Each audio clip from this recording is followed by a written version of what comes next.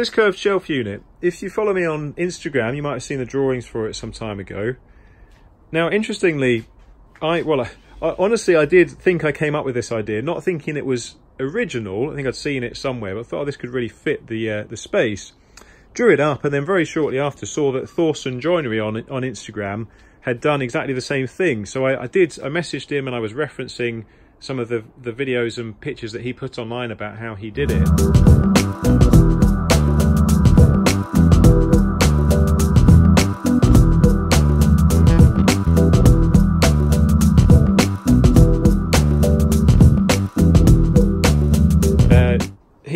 Valchromat and as we worked through the issues of this surprisingly complicated thing which, you know, this kind of thing, often you think, oh, it's just an interlocking set of shapes, but then you realise you've got issues with tolerances and material and stuff like that.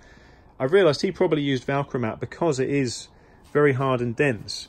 So these very fine, sharp points probably best suited to that material. We, because it was going to be white, sprayed, we decided to go with Medite MR MDF, which is what we use for a lot of this sort of work, and I think it's turning out fine.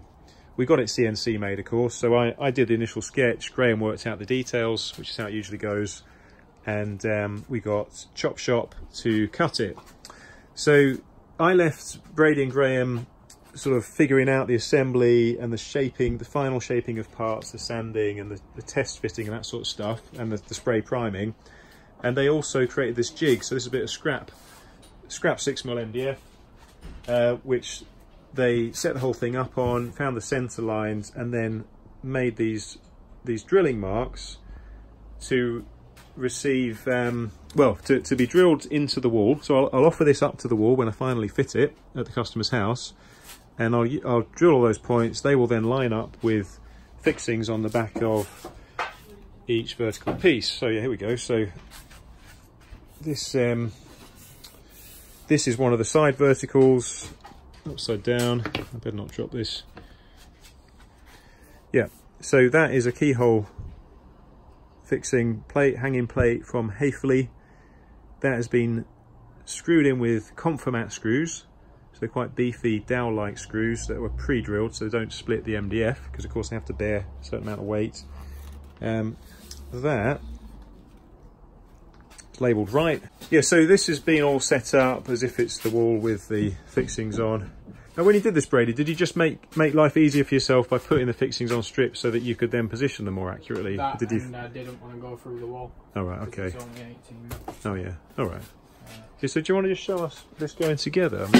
Maybe, just get a fixed position and speed it up. Uh, yeah, go on. This, this, show, show us that again. Show us that again.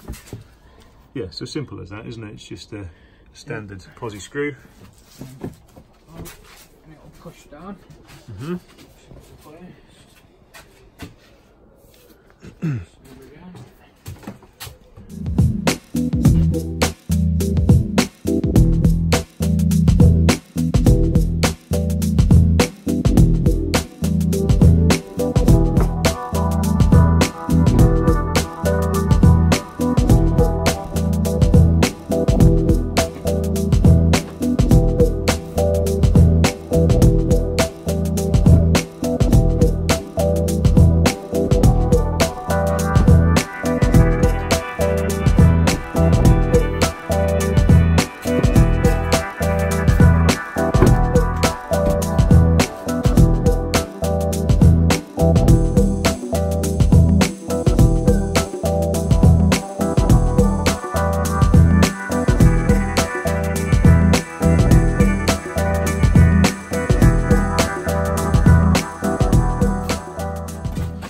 nice.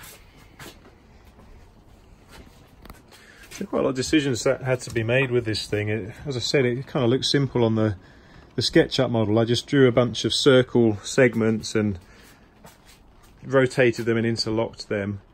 And then I, I realized various issues like um, when you go from them just being 2D intersecting things to then giving them the thickness, and this is 25 millimeters, you get uh, a bigger gap here to, to here. So we kind of set the shape and overlap of things according to this this was the place where the, or possibly this actually was the place where the um, overlap was sort of was the smallest. And uh, I originally had in mind to have a bigger a bigger round over on them, which I think is what um, Mr. Thorson did. So I don't know I don't know his first name. Um, I left this for the guys to do, and they kind of just made the decision to put a smaller round over on, which it's one of those things. I I came back and thought oh, I wanted it bigger, but I maybe hadn't communicated it that well, and it actually looks fine. So I don't really mind. Um, and I think it's quite good when you've got a team where you just start to know the limits of what's essential, what should be consulted on, and what you can just make a judgment call about, uh, which is a continual learning process, as I talked about in the last video. Uh, so anyway, they went with this small round over, um, the fairly close setback there, just the way the geometry works out, because, because all of it is is like a section of a sphere.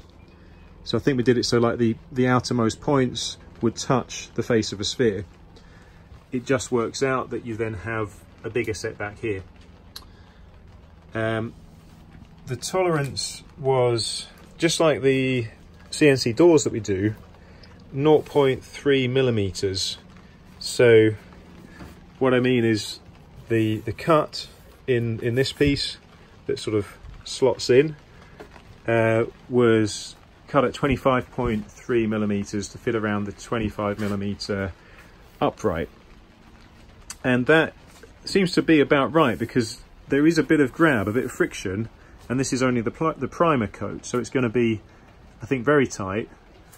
Although in places it looks like a bit of a gap, it's going to be pretty pretty tight on the final coat.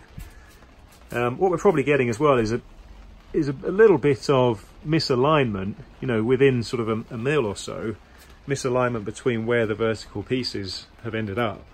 But again, that's quite good because that adds to the friction and the grab because there's nothing really mechanically holding that in place, but the friction, the friction is enough. And you can just, just about force it out. One little mistake on the CNC, I think the drawing sent for CNC was just that this overlapping cut was a bit deeper than it should be. Doesn't really matter though. Um, pretty much disappears. Uh, I think final detail to mention, again, just looking at the way Thorson Joinery did stuff, we'd been debating how to finish these very fragile edges off because that had come to a very fine point and we went for just taking it off a little bit. I think he he just took he took it off a bit more sort of maybe there. And this is this is what we went for. It's, it's okay. Just have to take care on the transport and the installation. I think when it's up on the wall of course it will it will be tight to the wall. It won't be spaced off with these. Uh, I think it will I think it will work just fine